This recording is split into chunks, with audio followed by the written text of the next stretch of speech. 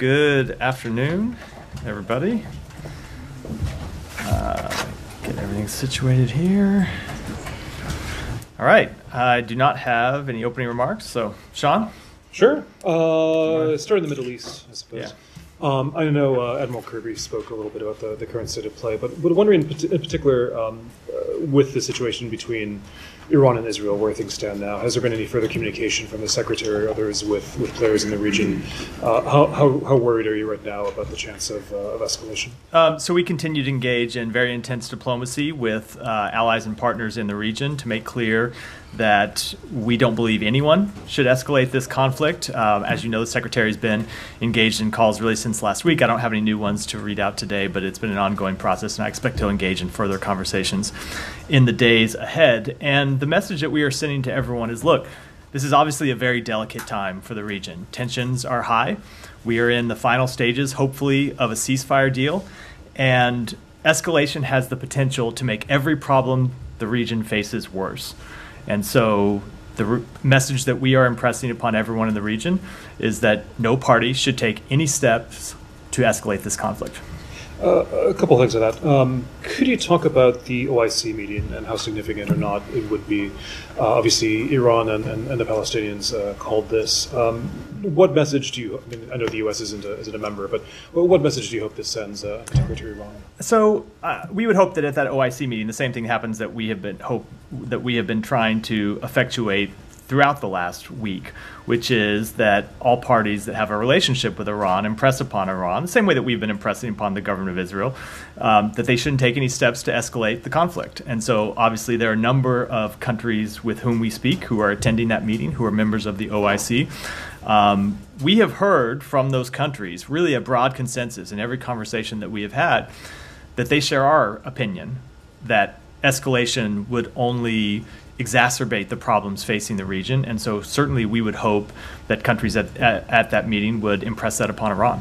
Sure. Uh, just one more for me. But um, I know the secretary was asked this yesterday, but about uh, the leadership of Hamas. Uh, the secretary said yesterday that, that Sinwar has always been uh, the primary decider. Uh, nonetheless, somebody who um, purportedly masterminded the October 7th attacks, and, and today the, the, the Israelis have, uh, not a surprise, but very clear that they, they want to kill him. how, how does that uh, how does that complicate the just the process of diplomacy and getting a ceasefire? And is there at least I don't- not a contradiction, at least a tension between trying to kill someone and trying to negotiate a ceasefire? I, I don't think there is. I, I, I really don't think it's what the secretary said yesterday. Obviously, I think is, is is accurate, which is it doesn't really change the situation. Two things can be true. Number one, Sinwar is a brutal terrorist with blood on his hands, including the blood of American citizens, and not just American citizens, but citizens of many countries around the world. So remember, it's not just citizens of Israel that were killed in, on October 7th. There were citizens of multiple countries, as I said, including the United States. That is true. It is also true that he continues to be the person that calls the shots for Hamas, and that was true before the death uh, of the leader of the, politi- uh, the, the political leader of Hamas. It continues to be true today. Ultimately, it was Sinwar that had the final decision-making authority, as we could see throughout these negotiations, on whether to accept a ceasefire or not. So yes, Sinwar absolutely ought to be brought to justice. We believe that um, for the uh, his significant uh, acts of terrorism. And we also think he ought to accept the ceasefire deal that is manifestly in the interests of the Palestinian people, as well as, of course, in the interests of Israel and, and the broader region. Well, on that in particular, um, have the Qataris given any indication that they're any more reluctant to deal with Hamas now that Sinwar is de facto at the head of the organization? Uh, um, no, they have not. In fact, Qatar has indicated to us um, that they continue to look to play the productive role they have really played since the uh, since October seventh. Uh, Qatar, uh, along with Egypt, have played an incredibly important role in trying to mediate a ceasefire deal. Um, they played a role in the return of hostages previously. Um, and they continue to play a really important role that you see us often express gratitude for, and that continues to be the case. Absent the designation by Hamas, presumably by Sinwar, of somebody who can physically be present at these negotiations, because presumably Sinwar himself will not be traveling to Cairo or anywhere else. Presumably correct, yeah. Um, Is there, is there not at least a logistical obstacle to furthering ceasefire talks at this time? So, a few things about that. Number one, Haniyeh was not the only person who attended talks when uh, there have been previous rounds of negotiations. There are other people from Hamas from outside Gaza who attended those talks, and that can still be the case. Those people have had the ability to get messages to Sinwar. Um, uh, that's been true all throughout the negotiations, and I would expect that to still be the case. The second thing is that um, just because, it, or let me say it a different way. Second thing is that actual physical negotiations are not the only time that there are talks that go on throughout this process, right? We talk to Qatar and Egypt all the time. We talk to Israel all the time. They have the messages to communicate with the leadership of Hamas, even absent getting in a room and talking to them. And I would expect that to continue to be the case as well. I do not mean this to sound flippant, but does it not require, and I take your, your latter point, but does it not require a commitment from Israel and I guess all of the negotiating parties not to kill the people who are taking part in these talks, if, if only to again, sort of finalize a deal that I assume would have to happen in person? So we want to see the talks get finalized, right? Um, if it, there's a couple ways to take your question. If you mean with respect to Sinwar, um, maybe that's not what you meant. So I just say with because that was something that Sean asked about. Certainly, with respect to Sinwar, something that uh, somebody that we believe ought to be brought to justice. There are other members of Hamas as well who are terrorists who deserve to be brought to justice in one way or the other. Um, but we do want to get these talks across the finish line. It is important that the talks be able to take place, that they take place uh, sometimes virtually, and that they take place in person as well. And we're going to continue to push for those to happen to finalize this agreement. As you've heard the president say, as you've heard the secretary say, we really do think we are in the final stages. We have agreement on a framework. There's some final pieces left to agree on to implementation. That takes both Israel and Hamas agreeing. So yes, we want to see talks continue, and that does mean that there has to be someone on the other end of those negotiations. I guess I more mean who would want this job, given it probably places an immediate target on this person's back. Uh, I, so I'm not sure that I, I fully accept the the premise of the question. I would hope people would want the. Oh, yeah, but I would just say, well, th- there are a number of people who've been involved in the negotiations. I would just say, I would hope people would want the job because they would see getting a ceasefire deal in the interest of the Palestinian people that they purport to represent. Um, that I think is a reason why anybody who is a member of Hamas or a leader of Hamas ought to want to participate in these negotiations, get them over the finish line. Okay, and on the final stages um, qualification, uh, which seems like it's a relatively recent descriptor that the White House and the State Department have been using to um, describe these talks. Not too long ago, a U.S. official said that there were still implementation issues that needed to be overcome. Is this description of final stages meant to indicate that those implementation issues have been resolved, or are they still outstanding? There are still implementation issues that need to be resolved, but if you look at how far we have come and what's left remaining, those implementation issues, I don't, maybe minor is not the right word, but com- compared to the scope of what has been agreed to, are things that we think ought to be able to agree to, and ought to be able to agree, ought to be able to be agreed to fairly quickly by the two parties. And so, um, we do not think there should be any further delay. Um, we think both parties ought to come to an agreement, and that is the message that we have sent directly, as well as what you've heard us say publicly. One quick last one on, on Al Asad and whether there's been any engagement diplomatically with the Iraqi government as to is there any indication the Iraqi government is going to take any steps to investigate, to mitigate what happened to uh, U.S. troops. Yeah, so we uh, have been in conversation with the Iraqi government about this question. Um, you may have seen also they have announced publicly that they've launched an investigation and arrested a number of suspects in connection with the attack. That, of course, is the appropriate thing for them to do. We have long said in previous rounds of attacks against U.S. personnel in Iraq that those personnel are there at the invitation of the Iraqi government, and it is incumbent upon the Iraqi government to take steps to prevent attacks in the first place. And when attacks do occur, to fully investigate and hold accountable those parties responsible. So it's appropriate that they are um, uh, doing so in, in this case. Another on Russia. Yeah, Just to you already follow, said last follow one. Up on, so uh, I know, I, exactly. yeah, no, I know, I know. Just to follow up on, on the negotiations, um, just to understand, so one of the things that you're kind of uh, saying to the Iranians is, is, you know, don't escalate because we're really close to getting a ceasefire deal.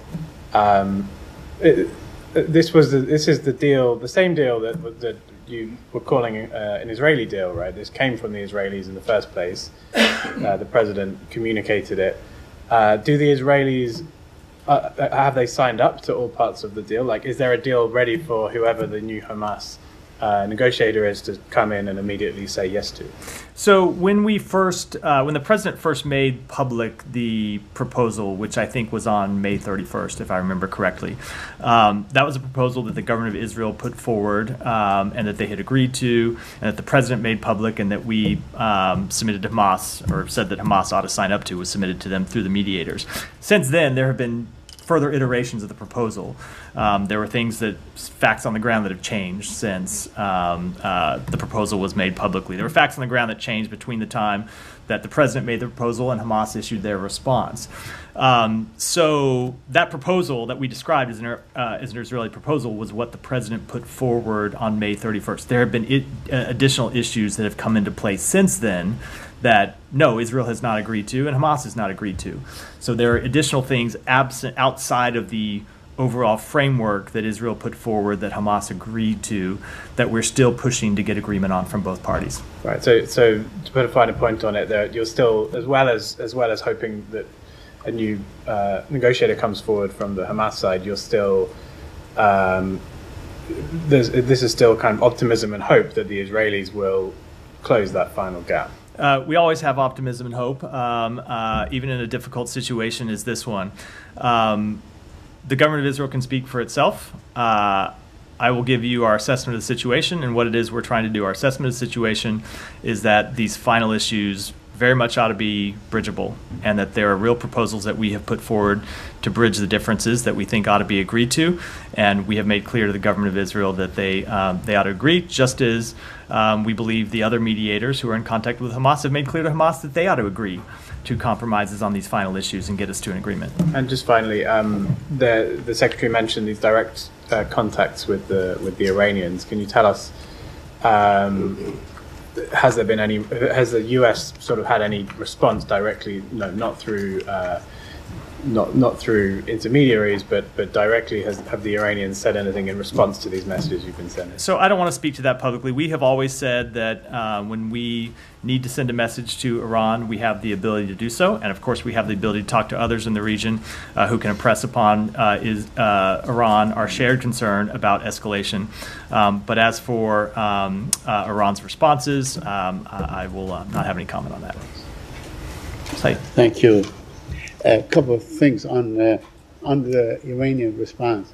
Uh, do you believe that the longer it takes, it uh, means that it is more deliberate or more thought is going into it? You know, it is likely to be more controlled and less less provocative or less spreading to make a major you know, war in the region. I mean, really your assessment.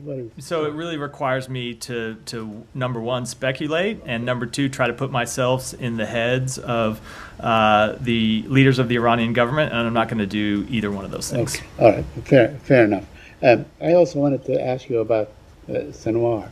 Uh, in retrospect, do you believe the Israelis made a mistake by assassinating someone like Haniyeh, who's more moderate, knows, you know, goes around and so on, and now you have someone who's probably a lot less moderate, you know, more militant, uh, probably more isolated, you know, not exposed in terms of leading negotiations?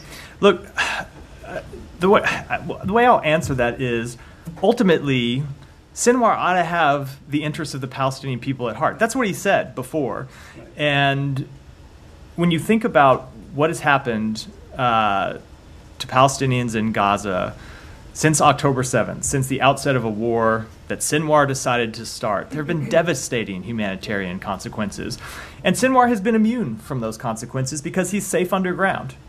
He's immune from the tragedy that his actions have wrought on the Palestinian people and that they continue to, to bring upon the Palestinian people by Hamas fighters hiding inside civilian infrastructure. So ultimately, as I said to I think it was Olivia's question, Sinwar ought to make the same calculation as Haniyeh or any other leader of Hamas would, which it is it time for a ceasefire.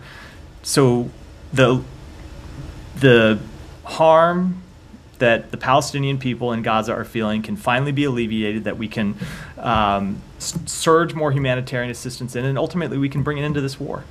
So, you know, uh, that brings me to this question. It's been more than two months since the president on May 31 uh, announced the proposal, and it was, you know, he said that it was an Israeli proposal. Yet we really are not going anywhere. I mean, you know, uh, more Palestinians are being killed every day. Less uh, um, humanitarian aid and so on is going in and so on. The situation is, is very, very dire. It seems no end in sight. So, what should, what steps can the United States take to make sure that this actually is, you know, that Yeah. the field goal is reached? So, um, first of all, we have come a long ways in terms of getting a, an agreement to the proposal. When you look at the, the agreement, the, the pieces of the proposal that have been agreed to by the two sides, um, it is a remarkable step forward from where they were several months ago. And um, there are a lot of things responsible for that, but um, one of them is the very hard work that the governments of the United States, the governments of Egypt, and the governments of Qatar put into trying to get this proposal over the line and get a framework of agreed to. Um, now, that said, nothing is final until everything is final, so we do need to reach agreement on uh, these final uh, on these final issues, and so. All we can do as the United States is push all the relevant parties to come to an agreement, to work diplomatically, to try to get them to come to an agreement, and to continue to impress upon every party in the region how further escalation of the conflict threatens the ability to reach a, reach a ceasefire, um, has the risk of further plunging the region into conflict and violence and wider war, and so it's in no uh, it's in no party's interest to take those further escalatory steps. I wonder if you would comment on the situation in the West Bank. Yesterday, the Israeli occupation forces killed 10 Palestinians, basically executed them. And uh, of course, you know, they were holding money, they're seizing the money and so on. You know, uh, the situation is really deteriorating in the West Bank. You know, it's, in, in many places, it's not much better than what's going on in Gaza. Uh, so two different things in, in your question with respect to um, anti-terrorism uh, operations that Israel has conducted. They have a right to defend themselves. They have a right to conduct anti-terrorism uh, um, uh, operations. I saw that in the reports of some of those uh, Palestinians who were killed, you had uh, Palestinian Islamic Jihad praising them as members of the resistance and members of the armed resistance. So those are obviously people that Israel has a right to conduct legitimate terrorism operations against. Um, when it comes to the withholding of Palestinian tax revenues, however, that's a different matter. We have made very clear that Israel needs to release all of that money. It's Palestinian money. And if you, you have seen our diplomatic engagements on this question over the past several months, um, produce results time and time again. Not all of the money has been released, but a uh, very significant portion of the money that at times Israel has withheld has been released as a result of the work that we have put into this. So Israel has a right to use fighter planes, fighter jets supplied by the United States against an occupied people. I'm not going to speak to. no I- so I'm not. I- I'm not going to speak to each strike or each uh, specific tactic, but they do have. They do have the right to when there are people, uh, when there are militants who are launching, plotting. Terrorist operations against Israel. Of course, they have the right. But Of, no, of course, of course, they have the right to carry out strikes and other anti-terrorism operations to defend against those. Uh, those to defend against terrorism. Thank you. Alex. May may I move to Ukraine, please? Sure. Nearly 900 days of full-scale Russian uh, invasion. Today, the Kremlin suddenly uh, remember that there are some borders, uh, southern borders of every country. Can you talk to speak to what's going on, the latest uh, developments, given the reports coming up? What do you know? How much you know? And uh, and have Ukrainians uh, informed you about the latest? Have we heard from The Ukrainians, uh, Ukrainian uh, side. So we are in, in communication with the uh, Ukrainians about this uh, particular operation. I believe you're uh, uh, referring to the operation across the border that they launched earlier today. I will leave it to them to speak to um, what it is they're, what kind of operations they're conducting and what their uh, goals are. That's appropriate that they speak to that publicly, not us. Um, but you're right. I have seen the statements from the Russian government is a little bit rich. Uh, them calling it a, pro- a provocation, given uh, Russia violated Ukraine's territorial integrity and sovereignty. Um, you said 900 days. It actually goes back much longer than that. It goes back to uh, t- uh, 2014 and continues to illegally occupy um, Ukrainian territory. Ultimately, the decisions about how Ukraine conducts its military operations are decisions that Ukraine makes. Uh, nothing has changed about our policy with respect to strikes across the border. I mean, no constraints placed uh, on Ukraine in terms of how they fight back or take the fight. Nothing, nothing um, with respect to the policy that we announced several months ago with, uh, uh, with respect to allowing our the, the, the equipment that we provide to be used in strikes across the border to, or to target sites, Russian military sites across the, just across the border. Nothing about that policy has changed. Beyond the U.S. Uh, weapons, the Ukrainians have a right to make Russia feel the consequences of their own illegal The, the, so ultimately, these are all decisions that are, are uh, left to, to Ukraine. I also want to ask you about. Uh, I did raise this uh, two days ago about Ukrainian uh, prisoner of war, prisoners of war. Uh, given the latest reporting, how Russians are treating them, we've seen like this memorable of Ukrainian prisoners. Do you have any reaction? Uh, so obviously, Russia has an obligation to uh, abide by the Geneva Conventions when it comes to the treatment of prisoners of war.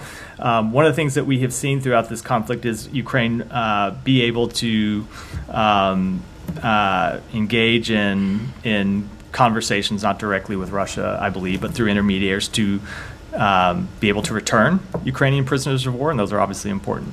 And one more, George, if I may. Uh, the secretary today issued a statement about 16 years of uh, illegal invasion of Georgian territories. Uh, two points here. One is, uh, are you in a position to finally say out loud what the Georgians have been waiting for 16 years to hear from you, that this was unprovoked? Uh, it was Russian action. Nothing, uh, you know, was provoked by the Georgian side. Unfortunately, you know, they're hearing uh, different narratives, both from Moscow also, you know, pro-Putin regime in. in So I think the secretary's statement today was actually quite clear that this was um, uh, an illegal invasion and an illegal occupation by Ru- or illegal invasion by Russia and continues to be an illegal occupation by Russia. And of course, the steps that they are trying to take to uh, to to continue to claim uh, territory are completely without justification. Back to Olivia. One is whether it is known to the U.S. whether U.S. provided weapons are being used in southern Russia by the Ukrainians. Uh, I will let the Pentagon speak to that question. Um, and second was you're, you said you're in communication now. Did the U.S. have visibility from the Ukrainians before they went into Russia that they would do so? We did not, but it's not unusual for the Ukrainians not to notify us of their uh, exact tactics before um, before they execute them. It's a war that they um, they are conducting. We provide them with equipment, we provide them with advice, but when it comes to the um, kind of day by day tactics that they carry out, the day by day strikes that they take, sometimes we're in communication with about them, sometimes we're not, and that's uh, it's appropriate for them to make those decisions. Okay, thank you. Yeah. Sorry, on the operation in that Kursk region, is it the State Department sense that Ukraine is opening up a second front into Russia? Again, I will let Ukraine speak to um, uh, its operations. And then can you just specify, because this isn't a strict counter-fire situation, perhaps like we saw in Kharkiv, can Ukraine use U.S. supplied weapons in this region if it's a military target? So the I'll answer it this way: nothing about our policy has changed, and with the actions that they are taking today, they're not in violation of our policy. and then I have another Oh, one on the Yeah, UK. go ahead. Sorry, it's- this is on the UK, if that's okay. Yeah, of course. Um, the protests that are happening right now, fueled in part by misinformation that appears to be spread by far right agitators. Just wondering, has the State Department been in contact with any of their UK counterparts about this, and are there concerns that this kind of pattern could repeat here in the U.S.? Uh, so I don't have any any conversations to speak to from the podium today, uh, but obviously we have been watching the um, uh, first the protests and then later the riots in UK over in the UK uh, over recent days. Everyone uh, around the world has the right to uh, exercise their rights to freedom of speech, their rights to freedom of assembly, but that uh, does not in any way justify violence, um, does not justify rioting, and UK authorities are, are well within their rights to use all law enforcement authorities to hold those accountable who engage in uh, violent activities. Can I follow up briefly? Yeah, yeah, sure. The role of social media, uh, of course, is to, there's disinformation uh, on uh, on social media, including uh, U.S. based sites. Has the State Department has any any discussions about that? About the role, any role that could be could be made be, that it could use to uh, to try to uh, get rid of the misinformation? So that is obviously something that we uh, work on quite a bit here through our Global Engagement Center when it comes to misinformation uh, uh, online overseas. Um, but I don't have any specific assessments with respect to or specific eh, specific actions with respect to these most recent events in the UK to, to discuss. Any, any sign of not say that there is, but uh, there have been some suggestions, perhaps uh, perhaps Russian or other involvement in this. Is that is that something? That I just don't have any assessments to offer today. Yeah, Jenny. Thank you, Matt. excuse me, two questions.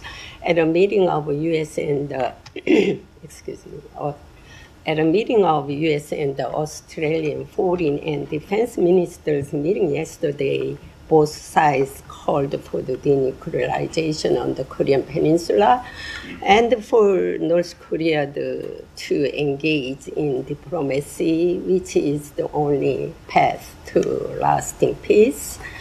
Uh, however, North Korea has recently completely closed its dialogue channel with the United States. How will it approach this? So we will approach this by continuing to consult with our allies and partners and continue to make clear that it's not just the United States um, that rejects uh, the nuclear uh, uh, nuclearization of the Korean Peninsula. It's not just the United States that's calling for a return to diplomacy. It is other countries. You mentioned that Australia, um, uh, in the joint statement that we released this uh, we released yesterday, um, shares the same position as us. That's a position that is held by countries um, uh, really around the region. And so uh, ultimately, um, it is the broad, I won't say consensus. There are other countries that have different views, of course, but when you look at most of the countries in the region, it is a, a, a near consensus that uh, Iran's action or, or uh, North Korea's actions are unacceptable and that they ought to return to diplomacy. One more quick. Uh, North Korea has been laying tens of thousands of landmines since April in the DMZ. And North Korea continued to send the landmine to South Korea carried by heavy rain and comment on this. Uh, what do you comment on this? Also, do you have, uh, do you think North Korea violated the Ottawa Convention Agreement? So I won't speak to a legal question, but obviously we continue to believe that uh, North Korea should stop these uh, destabilizing actions. Thank you. Uh, go ahead. Thank you. Going back to Israel. Uh, Israeli media today released uh, a video showing Israeli soldiers raping a Palestinian detainee at Teiman detention camp. Uh, the footage was very disturbing. Uh, you, I know you have commented on the reports about this detention center before, but we have now we now have a new evidence, which is video have you seen that video, and do you have anything to say on that, and also the reports of you know rape yeah. in Israeli prisons? So we have seen the video, and reports of sexual abuse uh, of detainees are horrific. They ought to be investigated fully by the government of Israel, by the IDF. Um, prisoners need to be treated. Uh, pr- prisoners' human rights need to be respected in all cases, and when there are alleged violations, the government of Israel needs to take steps to investigate those who are alleged to have committed abuses and, if appropriate, hold them accountable. And it is appropriate that the IDF, in this case, has announced an investigation, has arrested a number of people um, who are alleged to have been involved. And um, I won't speak to the outcome of that investigation, but it ought to proceed swiftly. And if they're determined to be uh, in violation of criminal laws or violations of the IDF's code of conduct, then of course they ought to be held accountable. And actually, this is not the first rape incident we have been hearing about Israeli prisons. And Israeli human rights group B'Tselem on Monday released a report saying that Sde Teiman is only tip of the iceberg, and that you know Israeli detention centers turned into a network of torture camps for Palestinian Palestinians. It reports cited testimonies from 55 Palestinian detainees. So. Uh, I know the Israelis uh, are investigating this, but would you support an invest- independent investigation into those allegations? So I would have to look at what the specific uh, in- independent investigation people are calling for um, and pass judgment uh, on the merits. But look, there ought to be zero tolerance for sexual abuse, rape of any detainee. Period. That's a fundamental.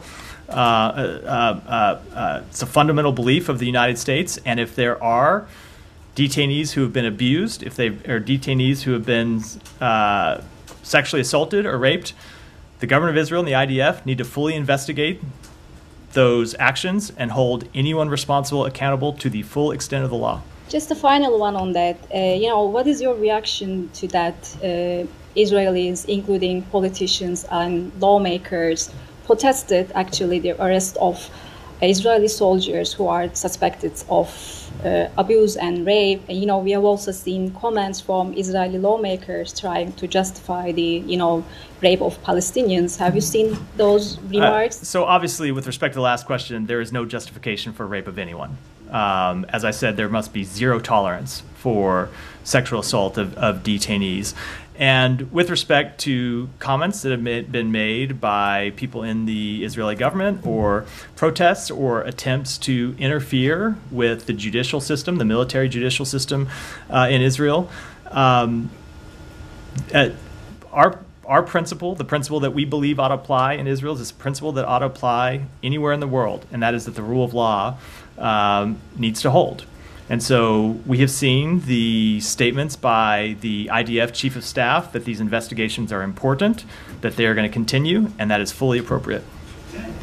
Have you Go. seen the? I'm sorry. Have Go. you seen the B'Tselem report? It's called. It's called. Welcome to have the B'Tselem report. That I have. I have seen the report. I haven't reviewed it in detail. Yeah. Thank you, Matt. Going back to Iraq, and uh, this attack has happened just in after 24 hours after the Secretary Blinken calls to Iraqi Prime Minister, and he was requesting him the protection for the U.S. forces. Uh, so you haven't labeled any militia group as who was behind this attack. Do you know which group attacked the U.S. forces in Iraq? Has the Iraqi government told you any uh, information on this? So it is a question that we continue to review, and of course, as I said in response to an earlier question, it's a matter that's under investigation by the government of Iraq. And then, uh, has the Iraqi government requested you to not respond this attack because they are doing investigative and they will take care about accountability? I, am I'm, I'm not going to get into any private diplomatic conversations. Uh, go ahead, Ksenia. Nine uh, Serbian post offices in northern Kosovo were closed uh, by the Kosovo government on August 5th.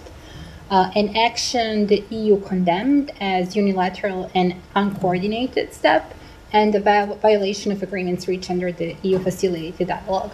Uh, the condemnation include familiar words such as unilateral, uncoordinated, and calls to return uh, to a dialogue, which to, the, to this day uh, Prime Minister Kurti didn't take seriously.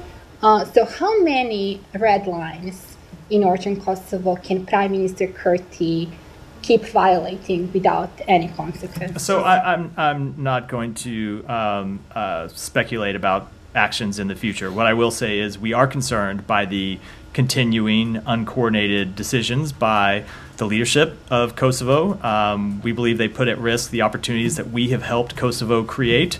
Um, if you look at the story since Kosovo's independence, the United States has strongly supported their full integration into the international community as a sovereign, multi ethnic democracy.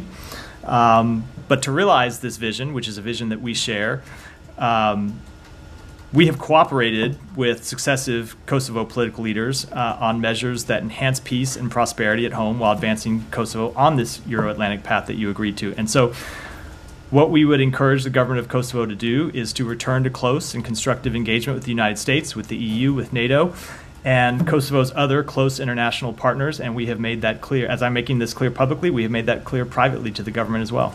Thank you. Yeah, go ahead. Yeah.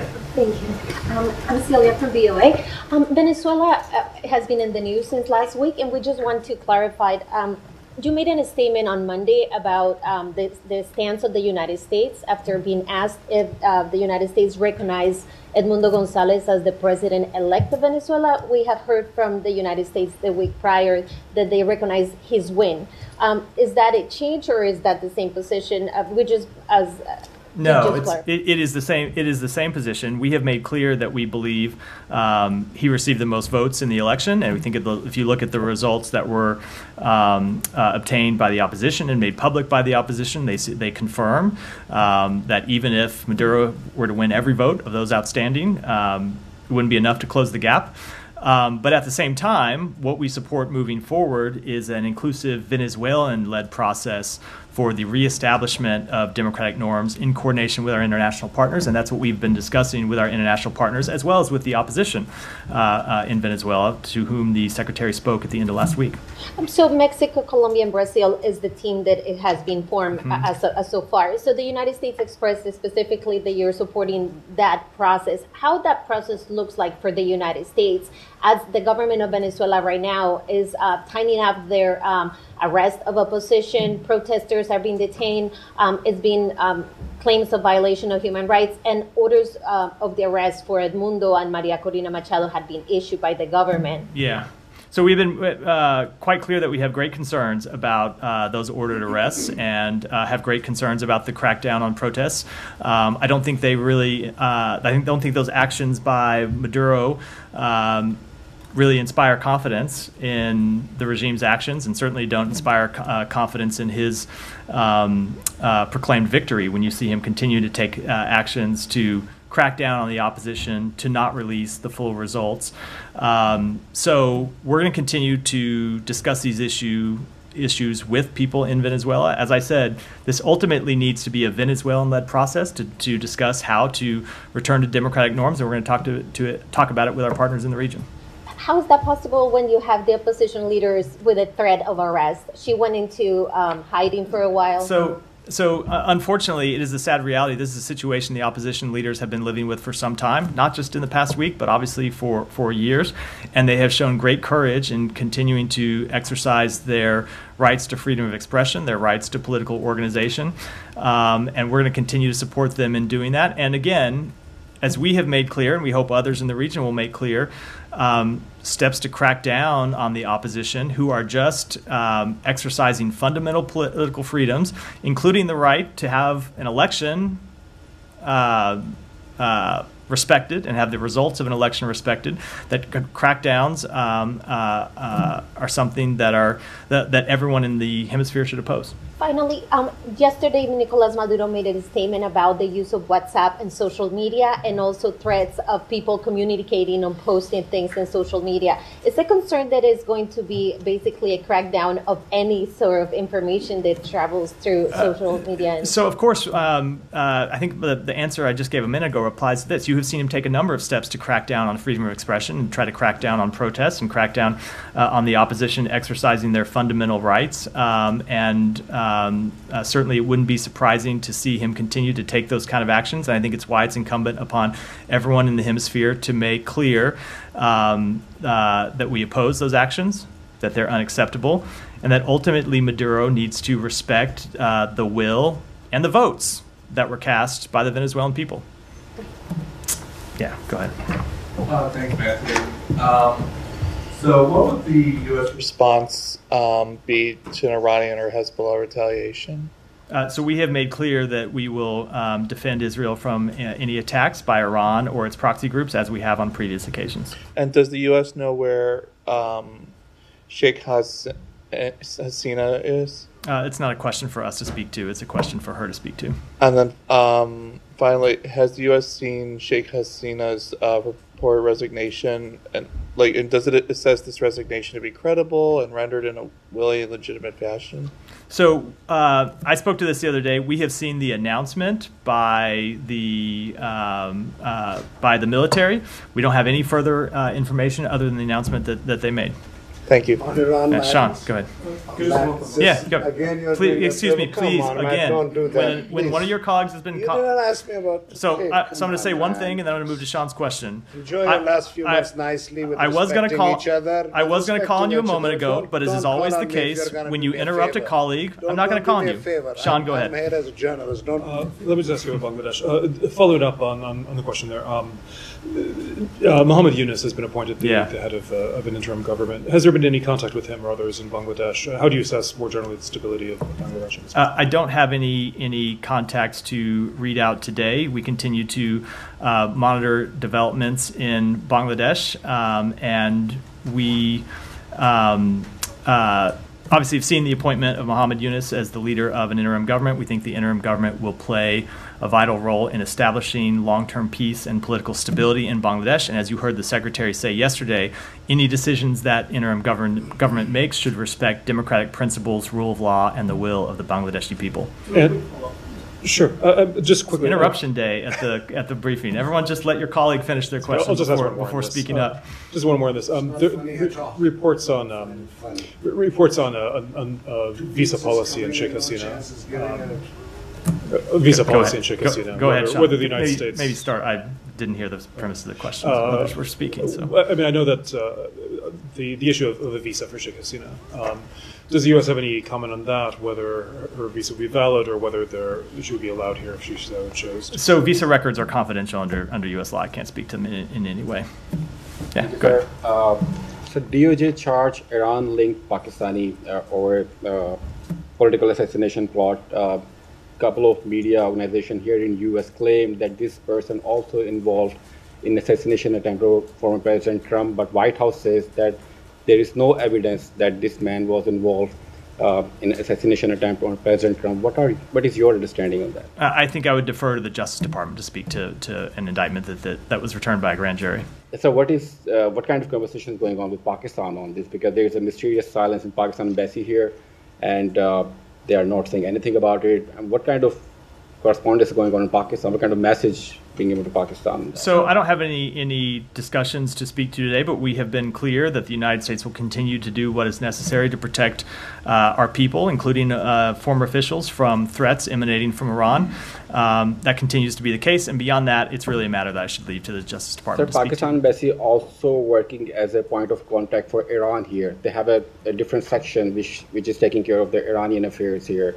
So is there any message being sent So to Iran through Pakistan I. I, I, I, I hate to I hate to do this, but as I just said, you're asking me about an ongoing legal matter that is the subject of a DOJ indictment. It's just not something I can speak to from here. Go ahead. Uh, thank you, Matt. I'm sorry.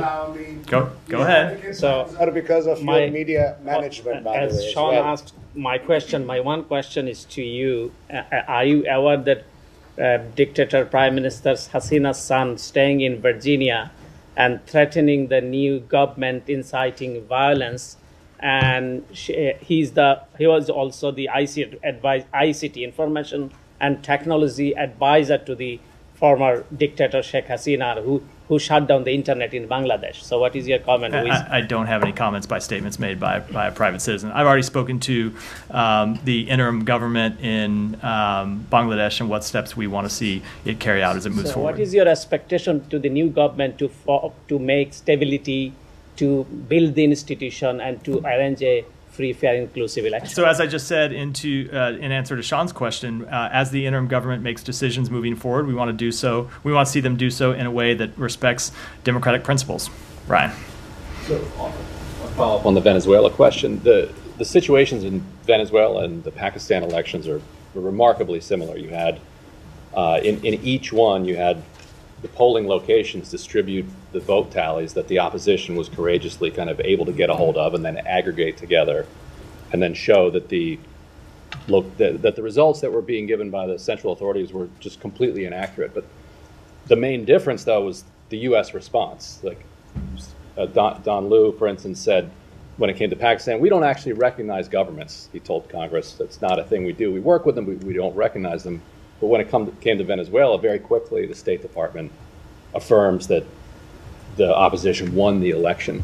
Like, it, do you feel like the, the U.S. had less credibility when it came to Venezuela because of the way that it handled the Pakistan situation? No, we make all of these assessments based on the facts, and the facts can be very different in country to country. When you look at Venezuela, um, uh, within several days, we were able to make an assessment, and it's not just the United States, but there are inter, uh, independent international observatory groups like the Carter Center who were able to look at the tallies that the opposition had obtained in 80% of precincts around the country and look at those tallies and see that the opposition candidate had won by such a margin that it was impossible for Maduro to overtake that margin. And then you com- compare that with the actions that Maduro had taken or that his regime had taken to not release actually any tallies. Still to this day, they've not released any tallies.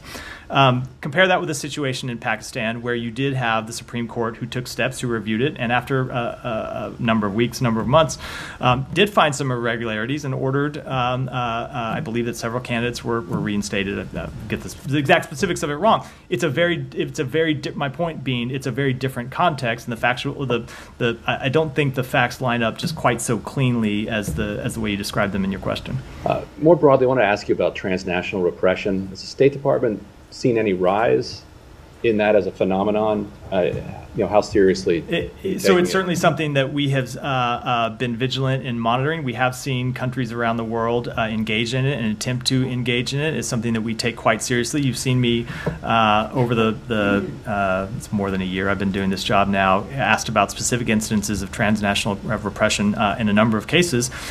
we've made quite clear that it is something we oppose, and of course you've seen the U.S. Justice Department take steps when it comes to examples of transnational repression as well. And, and finally, on this like this rape and torture center that seems to be pretty clear, all sides seem to agree that horrible things are taking place here. How is it still open? Does the U.S. believe that it needs to be closed at this point and just? So we believe that all of the invest all of the allegations need to be fully investigated, and anyone responsible needs to be held accountable. I think that's the appropriate first step before moving to, to anything else. Um, we'll go one more in the back, and then we'll wrap for today. This is not your battle. So, according to the European Union Representative Office in the Palestinian territories, Israel advanced last year the highest number of settlements in the occupied West Bank since Oslo Accord. The total number is 30,682. Do Palestinians who uh, lose their lands for settlements have the right of self defense? So we have made clear that we oppose the settlement program uh, by uh, um, that has been executed by the government of Israel. We think that it, that it is inconsistent with international law, and ultimately uh, they're not conducive to peace. And it's a matter we continue to engage with the government of Israel on. I think I think I'll, I think I'll wrap there, but I do want to close with one final thing, which is um, just to note those of you who have been watching me for the last year know that I try to cover as many people in the room. Uh, I try to get to everyone I can. But a principle that I have with, uh, tried to uphold is that when people interrupt me and when they interrupt their colleagues, not only am I not going to call on them that day, I'm going to have a hard time calling them in the future. Thanks, everyone.